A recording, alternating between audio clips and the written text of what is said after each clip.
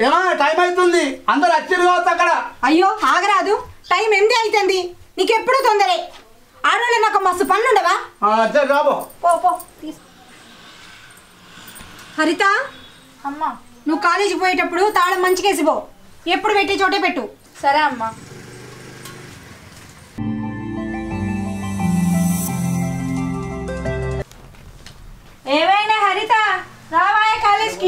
వామ్మో ఇంకా తింటున్నావాయే ఆగాగే వస్తా బుక్కులు తెచ్చుకుంటా ఉండు ఉండు. పోదాంబా సావుకారులో సావిత్రి వస్తుంది కావచ్చు పోదామా వాళ్ళ ఇంటికి. వాళ్ళ నాన్న రోజు బండి మీద దించేస్తాండే. నేను రోజు చూడనే పడితే. ఏం కూర వండిందే మీ అమ్మ? మాదానే కోడిగుడ్ల కూర వండింది మా అమ్మ. మీదేం కూరనే? ఏమున్నది? బెండకాయ చారు. ఎప్పుడు చూడు బెండకాయ వంకాయ అంటవేందే హరిత? ఏం చేయమంటావు? మా ఇంట్లో గవ్వే వండుతారు.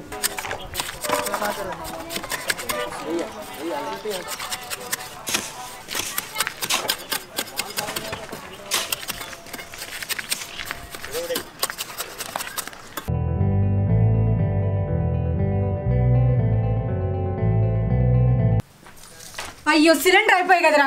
మొన్న నుంచి మొత్తుకుంటున్నా. సిలిండర్ అయిపోయింది బుక్ చేయరా బుక్ చేయరా అని. ఇంత కూడా సోయలేదా ఏం? తింటారో తినండ్రి. ఓ మొత్తంగానే అయిపోతుందా? ఇలా బ్యాలెన్స్ లేదా నేను కూడా నాలుగైదు రోజుల నుంచి అడిగిన పడితే ఓ నాలుగు వందలు ఇయ్యి అన్లిమిటెడ్ రీఛార్జ్ చేసుకొని బుక్ చేస్తానంటే ఇచ్చినావా? అవురా నీ గురించి నాకు బాగా తెలుసు. ఆ ట్యూబ్ యూట్యూబ్ అని పళ్ళకిలించి నవ్వుకుంటా కూకుంటావు. లేకపోతే నువ్వు చదివి మమ్మల్ని ఉద్ధరిస్తావా ఏందమ్మా ఏమైంది? గట్ల కోపం కత్తున్నావు? ఏం లేదమ్మా. సిలిండర్ బుక్ చేయరా అంటే అన్న నాలుగు వందలు అడుగుతుండు. నువ్వు ఆగమ్మా నేను బుక్ చేస్తా. నువ్వెట్లా బుక్ చేస్తావే ఫోన్ నెంబర్ అన్నది ఉన్నది కాదే. నీకెందుకమ్మా? ఒక పది రూపాయలు ఒక గంటలో బుక్ చేస్తా ఏమో నాకెటూ అర్థమైతలేదు. తెస్తుండు. అబ్బా ఇక్కడనే ఛార్జింగ్ పెట్టిపోయిండు.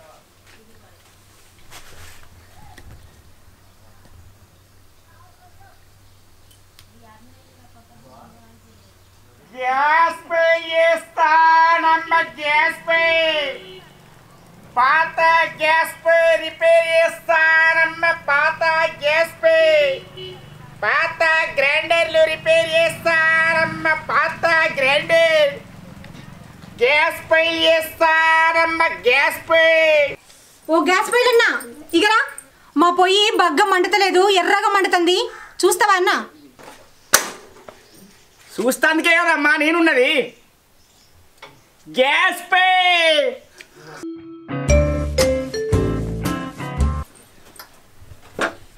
మరి చూడు మాకు రెండు నెలలు వచ్చే సిలిండరు నెల పదిహేను రోజులు వస్తుంది.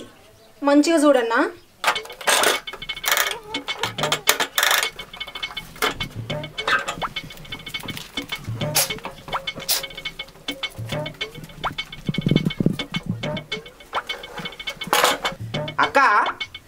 ఇంట్లో రెండు వాచర్లు పోయినాయి.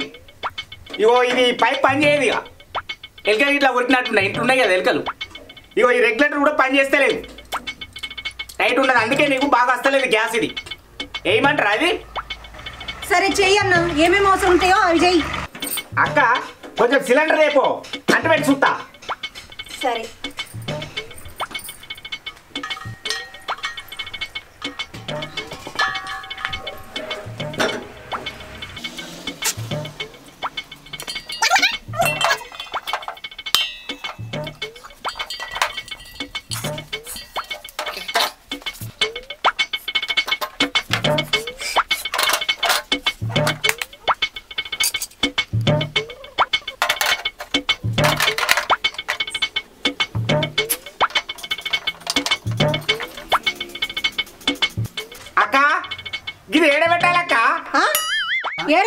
తెలియదా నీకు? ఏ మా చేస్తా కానీ మొన్న మొన్న నేర్చుకున్నాక కొంచెం మర్చిపోయినట్టు అయింది అంతే అయ్యో గ్యాస్ లీక్ అయినట్టుంది. బగ్గ వాసన వస్తుంది.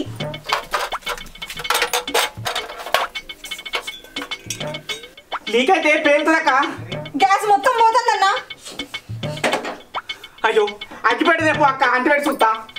ఓరి పిసముండ కొడుక మంటలు వేస్తే మాడిపోతారా వామ్మో ఈ గ్యాస్ అద్దు ఈ పని తక్కువ నేను పోతాన్నా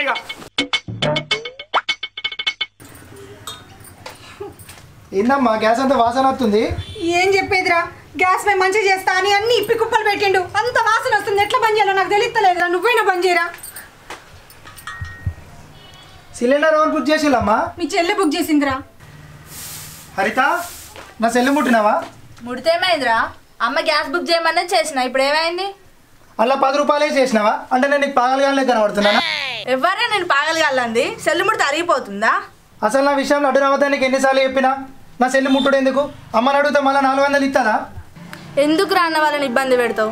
వాళ్ళు కైకిల్ పని చేసుకుంటా ఇంట్లో ఖర్చులన్నీ నెల్లదిత్తుళ్ళు మనల్ని ప్రైవేట్లో చదివిత్తుళ్ళు. వాళ్ళని చూస్తే గోస అనిపిస్తలేదారా? నేనేమన్నా తాకుండా తిరగకుండా సోకులా పడుతున్నానా? నెట్ బ్యాలెన్సే కదా అడిగింది? అది కూడా మన చదువుల కోసం ఆన్సర్లు చూసుకునేందుకే అడిగిన. లేనప్పుడు బుక్లలో చూసుకుంటే చదువుకోవచ్చు కదా? అమ్మ తల్లి నీ సోదాపు. మస్తు చెప్పినావు.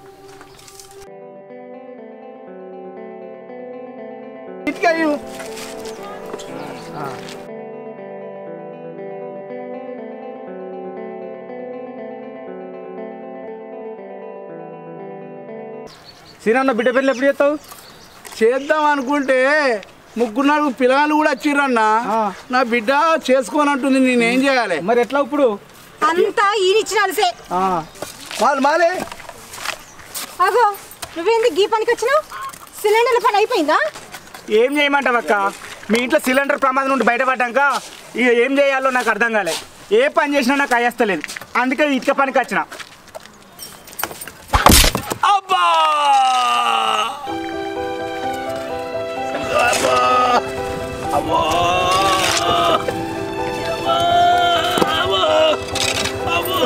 కళ్ళు కనపడతలేవరా? కంచర గాడిద మొక్కబోడా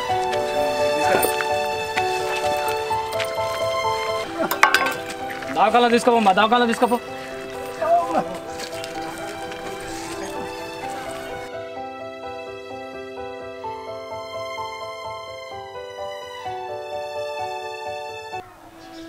ఇవాళ నాకు జ్వరం వచ్చేటట్టే ఉన్నది. అయ్యో. దెబ్బలకు నేనన్నా పట్టి కట్టుకొచ్చుకున్నావు అమ్మ. ఏమైందమ్మా? బగ్గ తాకినాయి? లేదమ్మా కాలు మీద ఇటుకలు పడ్డాయి. పెద్ద నెలకి బగ్గ తాకింది నువ్వు ఛాయ పెట్టుకురా. నాన్న గోళీలు వేసుకుంటాడు. సరే అమ్మ పెట్టుకొస్తా.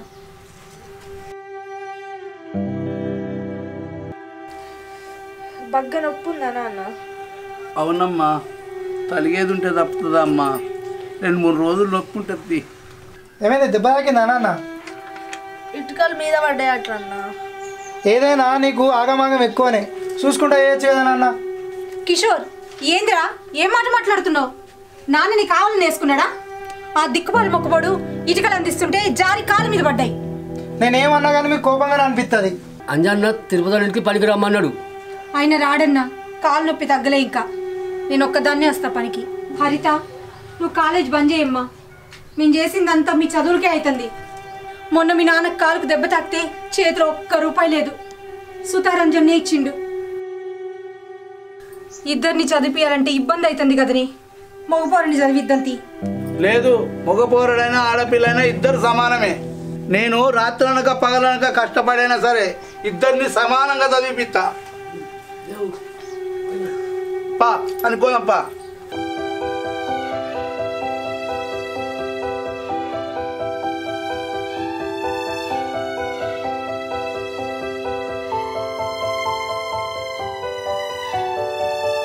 నాన్న హైదరాబాద్ కంపెనీలో జాబ్ అప్లై చేసిన. జాబ్లో జాయిన్ కమ్మని కంపెనీ నుండి లెటర్ వచ్చింది. పోతా నాన్న. నువ్వు ఒక్కదాని అక్కడ ఎట్లుంటావు అమ్మా? నువ్వు ఒక్కదాన్ని కాదు నాన్న. నాతో పాటు లక్ష్మి కూడా వస్తుంది. నువ్వేం భయపడకు. అక్కడ అంతా మంచిగానే ఉంటుంది. నాతో పాటు ఇంకో ఎంతో మంది ఉంటారు నువ్వు ఒక్కదాన్ని కాదు కదా. పోనీ విజయ్? సరే అమ్మా. నాన్న రాంగా పైసలు అడకట్టడితి అప్పుడు పోదుది ఏం